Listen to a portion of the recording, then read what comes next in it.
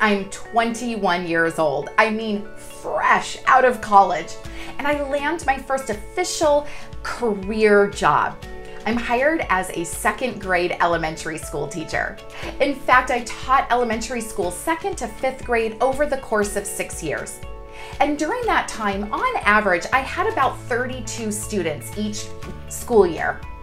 And my biggest ambition, my biggest hope during that time was that every single student every single day would walk out of the classroom understanding every single concept that I taught on.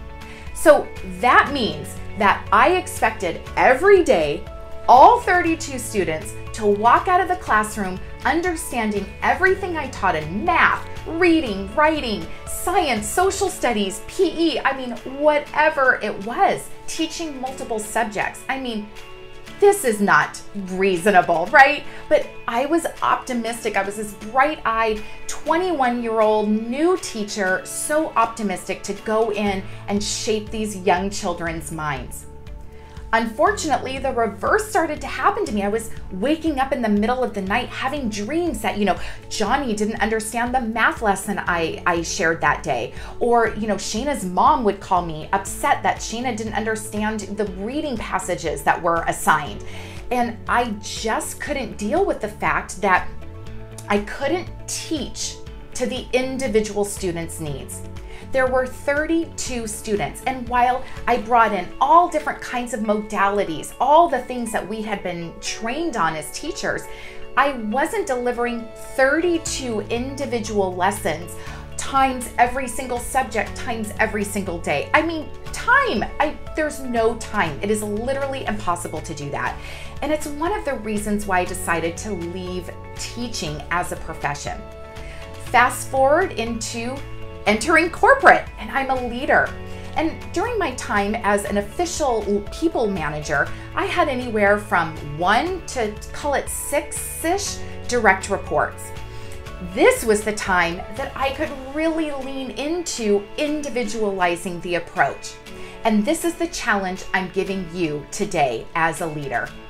Are you individualizing the approach for each of your direct reports, assuming that you have fewer than 32 direct reports. I'm not talking about your broader team, I'm talking about your direct reports. Ideally, you have between four or six. I've certainly met leaders who have 10. I would challenge you to challenge that to begin with. But if you have a reasonable amount of direct reports, are you leading and creating an individualized approach for them? This is so relevant considering that I see companies trying to retain and recruit new employees and they're leading with bigger, bigger, and bigger salaries, bigger bonuses. And look, if pay is fair, that is not necessarily the driver. Now, it could be for some of your individual direct reports, but other things such as flexibility is a big driver for some of your direct reports. So I challenge you to get to know your individual direct reports. What is important to them? What are their career goals?